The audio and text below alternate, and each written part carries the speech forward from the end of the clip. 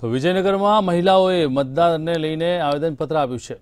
મામલતદારને લઈને આવેદનપત્ર અપાયું ત્યારે બીપીએલ તેમજ એપીએલ કાર્ડ ધારકોને અન્યાયને લઈ તાલુકા પંચાયતથી મહિલાઓ મૌન રેલી કાઢી નીકળી છે. છવ્વીસ દિવસે સમયસર અનાજ આપવામાં માંગ કરવામાં આવી છે, જેમાં મોટી સંખ્યામાં મહિલાઓ હાજર રહી હતી. ચોક્કસ વજન સાથે પૂરતું અનાજ આપવા રજૂઆત કરાઈ હતી, જેમાં આજે આવેદનપત્ર આવીને પોતાની રજૂઆત રજૂ કરી છે.